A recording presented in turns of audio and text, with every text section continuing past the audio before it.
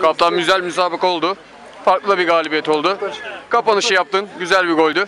Evet, iki Neler söylersin? üst üste galip geliyoruz. Geçen hafta da söyledik takım daha güzel olacak diye. Biraz daha oynadıktan sonra daha iyi olacak. Nasipse kupayı alacağız. Ayağınıza sağlık. Oyuncular süper. Takım olarak uyum sağlıyoruz. İnşallah kupayı alacağız. Ayağınıza sağlık. Murat Otomotiv'i izlemeye devam edin. Ayağınıza sağlık.